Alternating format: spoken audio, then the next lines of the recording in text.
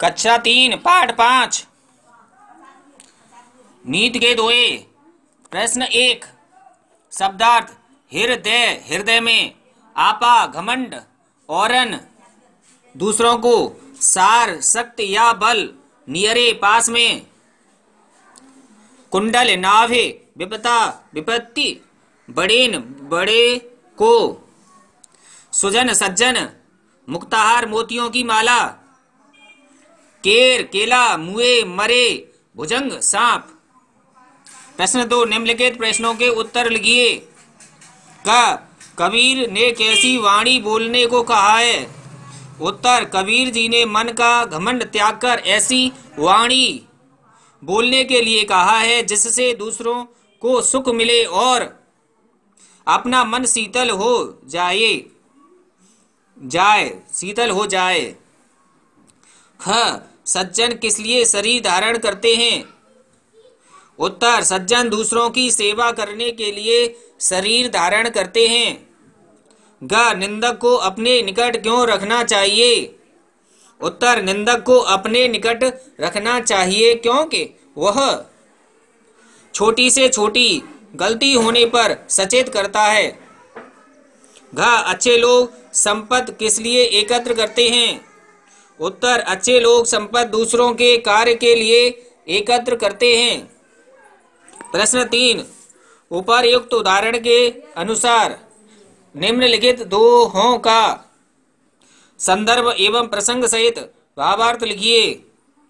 कस्तूरी कुंडल बसे dot dot dot, दुनिया देखे नाए। संदर्भ एवं प्रसंग, प्रस्तुत दोहा हमारे पाठ्य पुस्तक स्पर्श के, नीत के दोहे नामक पाठ से लिया गया है। इस दोहे के रचयिता प्रसिद्ध संत कवि कबीरदास जी हैं। इस दोहे में कबीरदास जी ने मनुष्य के शरीर में भगवान इस दोहे में कबीरदास जी ने मनुष्य के शरीर में भगवान बसते हैं। बसते हैं। की, की ओर इशारा किया है? भावार्थ। कबीरदास जी कहते हैं कि जैसे कस्तूरी हिरण की नाव में होती है और कस्तूरी की सुगंध उसके शरीर से आती है, पर वह उसे जंगल में ढूंढता रहता है। उसी उसी प्रकार मनुष्य के शरीर में भगवान बसते हैं या रहते हैं और वह उन्हें शरीर के बाहर ढूंढते हुए मृत्यु को प्राप्त हो जाता है। वास्तविकता नहीं जान पाता है। प्रश्न तीन ख, रहीमन धागा प्रेम का डॉट डॉट डॉट गांठ पर जाई। संदर्भ एवं प्रसंग प्रस्तुत दोहा हमारी पाठ्य पुस्तक स्पर्श के नीत के दोहे नामक पाठ से लिया गया है। इस दोहे के रचयिता प्रसिद्ध संत कवि रहीम जी हैं। इस दोहे में रहीम जी ने मनुष्य के, मनुष्य का, मनुष्य को प्रेम से रहने की ओर ध्यान दिया है।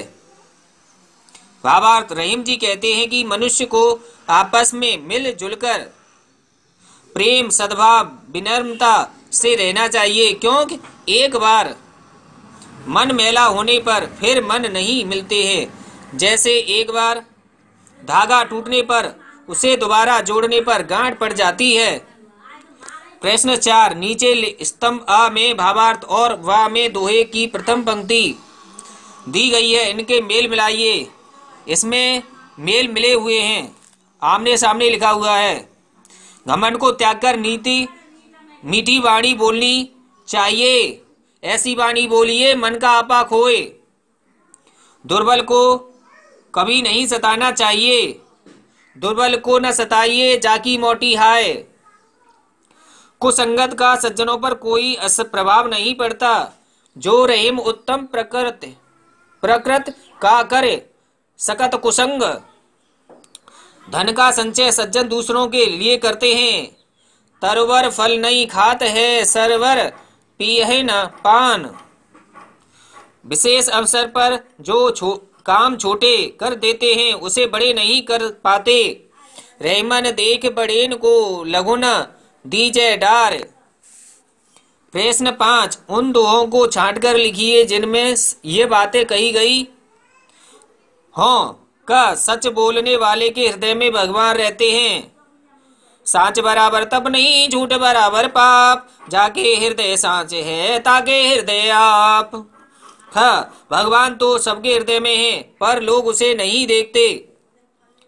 कस्तूरी कुंडल बसे, मृग ढूढ़े, वन माए ऐसे घट घट राम है, दुनिया देखे ना है।